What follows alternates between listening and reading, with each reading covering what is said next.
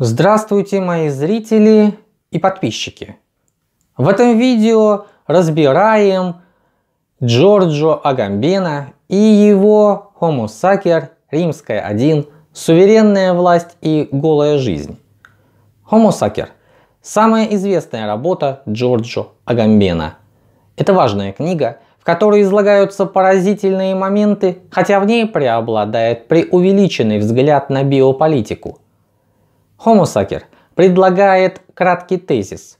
Современные политические режимы, включая как либеральные демократии, так и тоталитарные правительства, все больше полагаются на юридическое пространство, которое изолирует и управляет голой жизнью, зоэ по-гречески, их подданных.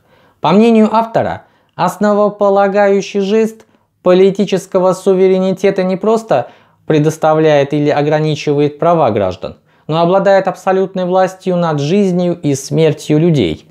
Согласно аргументу, сегодняшняя биополитическая машина выдает скрытое соучастие с самыми отвратительными формами господства.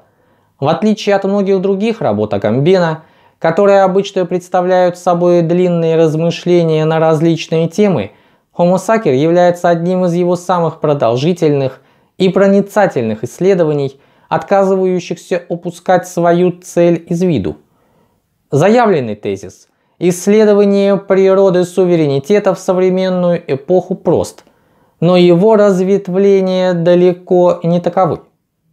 Что вот этот Homo sacer – это конкретный индивидуум, избранный в качестве жертвы для жертвоприношения, и поэтому он таким образом – сделан священным.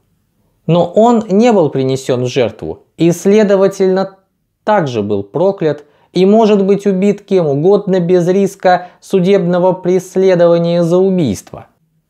Посмотрим содержание Homo Sacer Римская 1 Суверенная власть и голая жизнь. Введение. Часть первая. Логика суверенной власти. Парадокс суверенной власти – Номос базилеус, возможность и право, форма закона, порог. Часть вторая.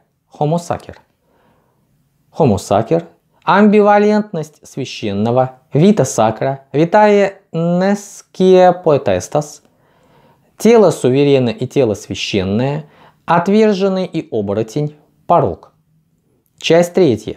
Лагерь как биополитическая парадигма современности – политизировать жизнь, права человека и биополитика, жизнь, недостойная быть прожитой, политика, то есть формализация народной жизни, ВП, политизация смерти, лагерь как номос современности, порог и примечание. Полный отзыв доступен для подписчиков boosty.tu. В этом полном отзыве мы поговорим о, собственно, о том, о чем пишет Агамбен в этой книге. Переходите по ссылке в описании на boosty.tu, подписывайтесь и получайте доступ к полной версии отзыва. На этом я с вами прощаюсь, желаю успехов и до новых встреч!